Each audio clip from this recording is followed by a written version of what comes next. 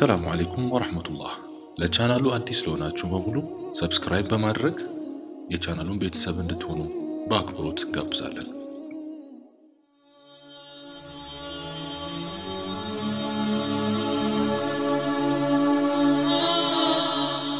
ኑሕና አሰቃቂው የሕዝባቸው እልቂት።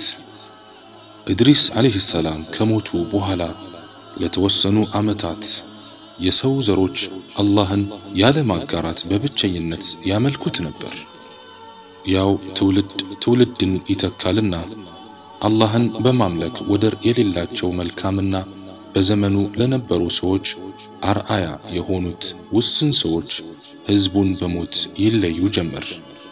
በዘመኑ የነበሩ ሕዝቦችም በእነዚያ ደጋግ ሰዎች ህልፈት እጅግ አዝነዋል። ሐዘናቸውን ለማስታገስና እነዚህን ደጋግ የአላህ ባሮችን ለማስታወስ ሐውልት ሊሰሩላቸው ተነጋገሩበትና እቅዳቸውንም እውን በማድረግ በአምስት ትላልቅና ደጋግ ሰዎች ስም አምስት ሐውልት በከተማ መሃል አቆሙላቸው። ስማቸውም ውድ፣ ሱዋዕ፣ የጉት፣ የዑቅ፣ ነስር እነዚህ ናቸው። በዚህ መልኩ እነዚህን ደጋግ ሰዎች ሁሌም ያወሷቸው ነበር። የከተማይቱ ሰዎች ለእነዚያ ደጋግ የአላህ ባሮች ካላቸው ክብር አንጻር ሐውልቶቻቸውንም ወደር የለሽ ክብር ያከብሩ ነበር። እንዲህ እንዲህ እያለ ሰው ለነዚህ ሐውልቶች ያለው ቦታ ሁኔታውን እየቀየረ መጣ። በሐውልቱ አጠገብ ሲያልፉ ለሐውልቱ ክብር በሚል እያጎበደዱም ማለፍ ጀመሩ። ጊዜው ይነጉዳል። ክረምትና በጋ ቀጠሯቸውን ጠብቀው በፍጥነት ይተካካሉ። ክረምት ሲመጣ ዝናቡ፣ በጋ ሲመጣ ፀሐዩ የሐውልቶቹን ይዘት መቀየር ሲጀምር የከተማይቱ ነዋሪዎች ሐውልቶችን ከውድመት ለመታደግ አንድ ቤተ አምልኮ ውስጥ ሊያስገቧቸው ወሰኑ። ሐውልቶቹን መጠለያ ውስጥ ካስገቡ በኋላ ለሐውልቶቹ ያላቸው ቦታ ይበልጥ ጨምረ። በገቡና በወጡ ቁጥር ለሐውልቶቹ ማጎብደድ ጀመሩ። ያን ጊዜ አላሁ ስብሓንሁ ወተዓላ ከነዚያ ሕዝቦች ወደ ቀጥተኛው መንገድ ይመራቸው ዘንድ ኑሕ የተባለ መልእክተኛን አስነሳ።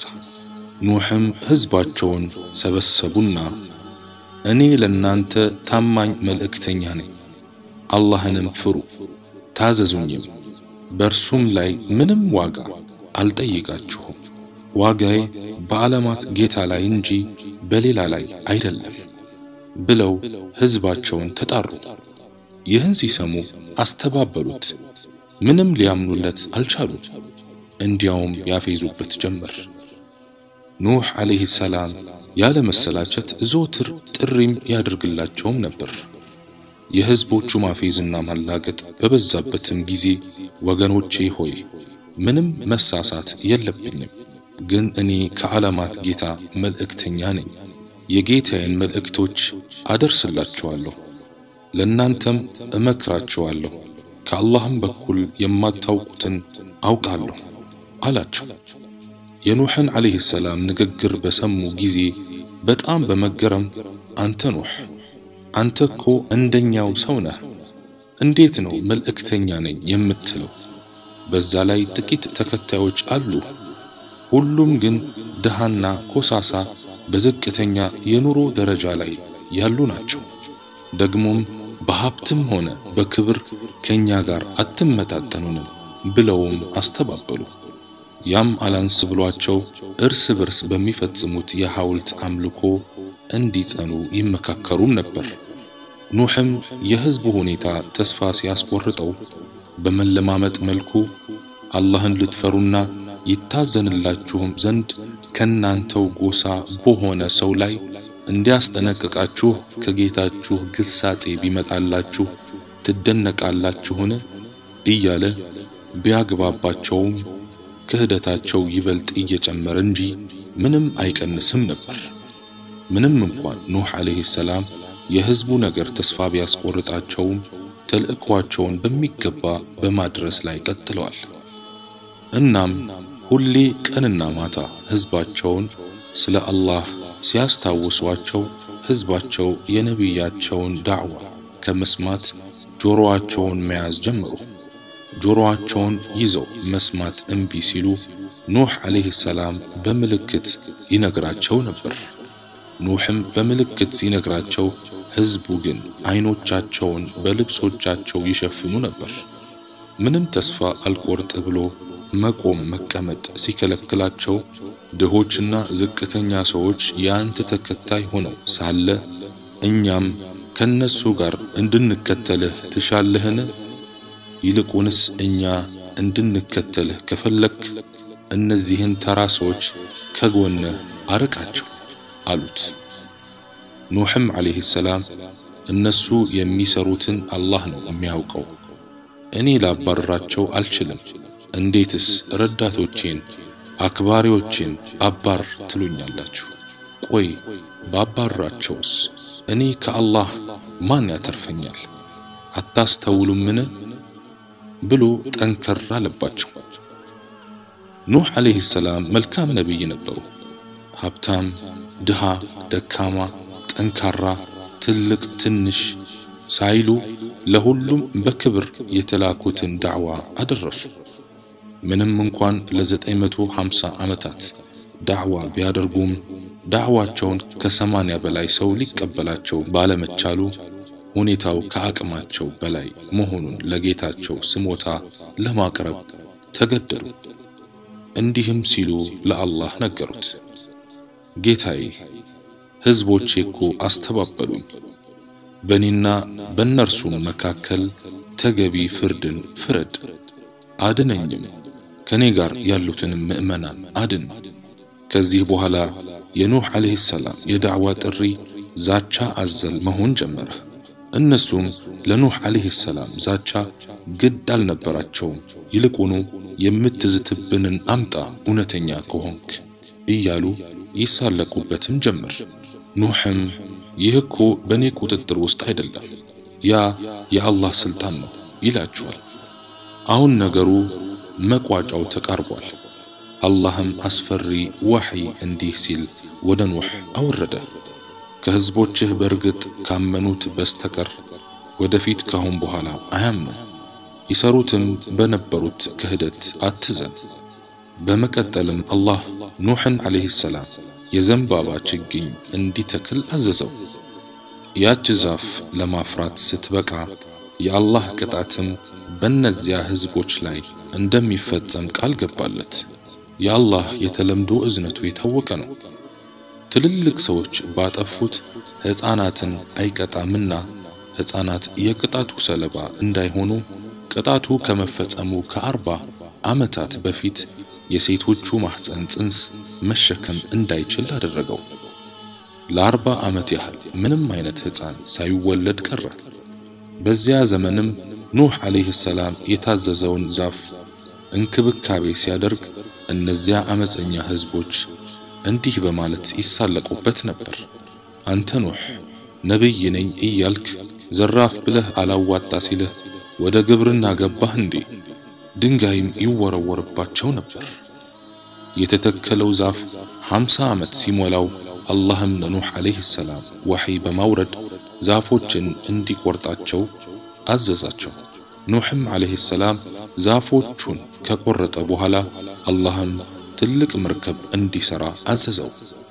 ጅብሪልም መርከብ እንዴት እንደሚሰራ ሊያሳየው ከሰባት ሰማያት ወረደ። አላህም እንዲህ ሲል ወሕይ አወረደ። የመርከቧ ርዝመት 1200 ክንድ፣ የጎን ስፋት 800 ክንድ፣ ከፍታው ደግሞ 80 ክንድ የሆነችን መርከብ ሥራ። በተንጣለለ አሸዋማና በረሃማ ቦታ ላይ ኑሕ መርከቧን መስራት ጀመሩ። ሕዝቦቹም ካጠገቡ ሲያልፉ አንተ ኑሕ ከነቢይነት አናጺነት ይሻላል ብለህ ነው እያሉ ያፌዙበታል። ከፊሎቹ ደግሞ አንተ ኑሕ መርከብ እኮ ለባህር ነው የሚሰራው፣ አንተ እልም ያለ በረሃ ላይ ትሰራለህ እንዴ ይሏቸዋል። ኑሕም ለስለስ ባለ አንደበት ዛሬ በእኛ ላይ ብትሳለቁብን ነገ እኛም በእናንተ ላይ እንሳለቅባችኋለን ይላቸው ነበር።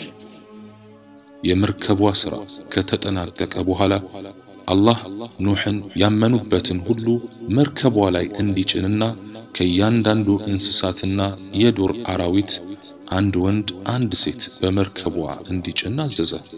የምዕመናኑ ቁጥር ሰማንያ ብቻ ነበር። ለኑሕም ዓለይሂ ሰላም ሁለት ሚስቶች ነበሩት። አንደኛዋ ሙስሊም ስትሆን ሁለተኛዋ አመፀኛ ካፊር ናት። እሱም ሙስሊሟን መርከብ ላይ ጫናት። መርከቧ ውስጥ ሁሉም ቦታውን ከያዘ በኋላ ፀሐይ ብርሃኗን ተነጠቀች። ምድር በአስፈሪ ጽልመት ተዋጠች። ሰማይም ዶፍ ዝናቡን ማንቧባት ጀመረ። በከርሰ ምድርም ታምቆ የነበረው ውሃ ምድሪቱን እየሰነጠቀ ለጉድ መፍለቅ ጀመረ። ከሰማይም የወረደው ውሃና ከምድር የወጣው ውሃ ሲገናኝ ምድር ከአቅሟ በላይ መጥለቅለቅ ጀመረች። ያን ጊዜ መርከቧ ቀስ እያለች መንሳፈፍ ጀመረች። ውሃው በየሰዓቱ እየጨመረ ነው። አጋጣሚ ኑህ ዓለይሂ ሰላም ሁኔታውን ለማጣራት ወደ ምድር ሲመለከቱ የአብራካቸው ክፋይ የሆነው ልጃቸው አንዴ ሲወድቅ አንዴ ሲነሳ ውሃው ሲያንከራትተው ተመለከቱት። እንዲህም ሲል ተጣሩ፣ ልጄና ከኛ ጋር ተሳፈር፣ ከከሃዲያን ሕዝብም አትሁን። ልጁ ግን በትዕቢት የተሞላ ነውና ከውሃው ይጠብቀኝ ዘንድ ወደ ተራራ እወጣለሁ ብሎ መለሰላቸው። እሳቸውም ዛሬ ከአላህ ትዕዛዝ ምንም ጠባቂ የለም እርሱ ያዘነለት ካልሆነ በቀር ብለው ንግግራቸውን ሳይጨርሱ እንደ ትልቅ ተራራ ያለ ማዕበል መጣና ልጁን ጠራርጎ ወሰደው። ኑሕም ልጄ እያሉ ወደ አላህ ሲጮኹ አላህም ኑሕ ሆይ እርሱ ከቤተሰብህ አይደለም፣ እርሱ መልካም ያልሆነ ሥራ ነው። በእርሱ ዕውቀት የሌለህንም ነገር አትጠይቀኝ። እኔ ከሚሳሳቱት ሰዎች እንዳትሆን እገስጽሃለሁ አለው። ውሃውም ምድርን ለአርባ ቀናት ያህል ካጥለቀለቀ በኋላ ምንም አይነት ነፍስ ያለው ነገር ከምድረ ገጽ ጠፋ። ያን ጊዜ አላህም ምድርን ምድር ሆይ ውሃሽን ዋጪ፣ ሰማይም ሆይ ዝናብሽን ያጪ ብሎ ምድርን ከመጥለቅለቅ አስቆመ። ምድር ትንሽ ጠፈፍ ማለት ስትጀምር ኑሕና ተከታዮቹን የተሸከመችው መርከብ በሰላም ጁዲይ በተባለ ተራራ ላይ አረፈች። አላህም የተቀረውን ውሃ ወደ ውቅያኖስ እንዲፈስ አደረገው። ያን ጊዜ ኑሕና ተከታዮቹ ከመርከቢቷ ወርደው የያዟቸውንም እንስሳት አውርደው ለቀቋቸው። በምድርም እንደ አዲስ ግንባታ ጀመሩ። የተለያዩ ዛፎችንና አዝርዕትን መትከልም ጀመሩ። ምዕመናኑም ምድር ላይ በመበታተን የተለያዩ ከተማዎችን በመመስረት ብዙ ልጆችን ወልደው ምድርን እንደ አዲስ መሙላት ጀመሩ። በመጨረሻም አላህ ኑሕን ዓለይሂ ሰላም ኑሕ ሆይ እኔ ፍጥረታትን የፈጠርኩት እንዲገዙኝ ነው፣ እኔ ያዘዝኳቸውንም እንዲታዘዙኝ ነው። ነገር ግን አመፁኝ፣ ከኔ ሌላ የሆነንም አካል ጌታ አድርገው ያዙ። ያን ጊዜ ቁጣዬም እነሱ ላይ ተፈጻሚ ሆነ፣ በውሃም አጥለቀለቅኳቸው ብሎ ወሕይ አወረደለት። الله سمتو كم يتكمو يتركن والسلام عليكم ورحمة الله وبركاته.